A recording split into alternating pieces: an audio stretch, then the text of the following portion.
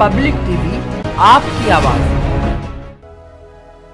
लखीमपुर जा रहे राजस्थान के पूर्व डिप्टी सीएम और कांग्रेस नेता सचिन पायलट को मुरादाबाद सर्किट हाउस में करीब सवा चार घंटे नजरबंद रखा गया। बुधवार रात ग्यारह बजकर बीस मिनट पर उन्हें पुलिस की गाड़ी में बैठाकर दिल्ली भेजा गया। जाते समय पायलट ने कहा कि ना तो उन्हें लखीमपुर जाने दिया गया और ना ही मुरादाबाद में ठहरने की अनुमति दी गई। आचार्य प्रमोद कृष्णम ने कहा कि प्रदेश में लोकतंत्र की हत्या हो रही है। सचिन पायलट और कांग्रेस नेता आचार्य प्रमोद कृष्णम के दिल्ली से लखीमपुर के लिए निकलने की जानकारी मिलते ही अमरोहा के गजरौला से लेकर मुरादाबाद तक हाईवे पर पुलिस की मुस्तैदी बढ़ा दी गई। गजरौला और जोया टोल प्लाजा पर फोर्स की मौजूदगी के बाद भी सचिन की गाड़ी आगे बढ़ती चली गई। लेकिन जैसे ही उनकी गाड़ी मुरादाबाद रामपुर की सीमा पर स्थित मुंडा पांडे टोल प्लाजा पर पहुँची तो शाम सात बजे उन्हें मुरादाबाद के सर्किट हाउस में नजरबंद कर दिया गया।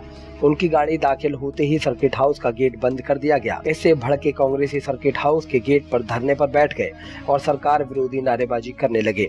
रात करीब ग्यारह बजकर बीस मिनट पर पायलट और प्रमोद कृष्णम को पुलिस की गाड़ी से बाहर लाया गया, जो दिल्ली की ओर बढ़ गई।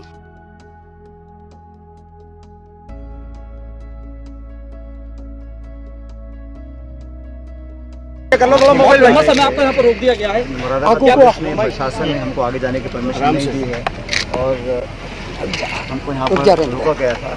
इसके पश्चात मुझे कहा कि ना तो हम आगे जा सकते हैं और ना मुझे यहाँ रहने की इन्होंने इजाज़त दी है। तो प्रशासन पुलिस ने मुझे कहा है कि ये लोग मेरे- मेरे पास- बॉर्डर तक लेकर आएँगे।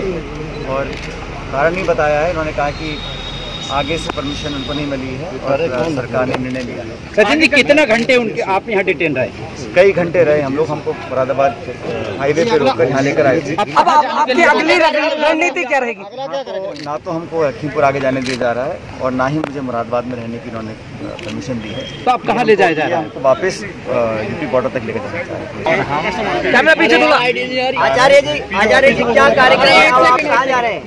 आचार्य जी क्या प्लान है फ़िलहाल अभी आप लोगों का? और कितनी देर आप लोगों को फ़िलहाल यहाँ रोका गया?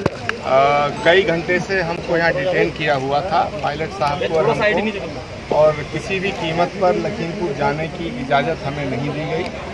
अब पुलिस की कस्टडी में वापस दिल्ली जाने को मजबूर किया जा रहा है। सचिन पायलट साहब सरकारी गाड़ी में हैं। हम लोग पुलिस कस्टडी में दिल्ली वापस जा रहे हैं क्योंकि किसी भी कीमत पर लखीमपुर जाने की इजाज़त नहीं दी आचार्य जी यूपी सरकार क्या कहीं ना कहीं दबाव में है जिसकी वजह से आपको वापस भेजा जा रहा है? आ, उत्तर प्रदेश में लोकतंत्र नाम की चीज़ नहीं रह गई है और उत्तर प्रदेश में लोकतंत्र की हत्या सरेआम हो रही है और गुनाहगारों का पक्ष दिया जा रहा है। मैं योगी आदित्यनाथ जी से आग्रह करूँगा कि वो अपना दिल बढ़ाकर लोकतांत्रिक मूल्यों की रक्षा करें। पब्लिक टीवी आपकी आवाज़।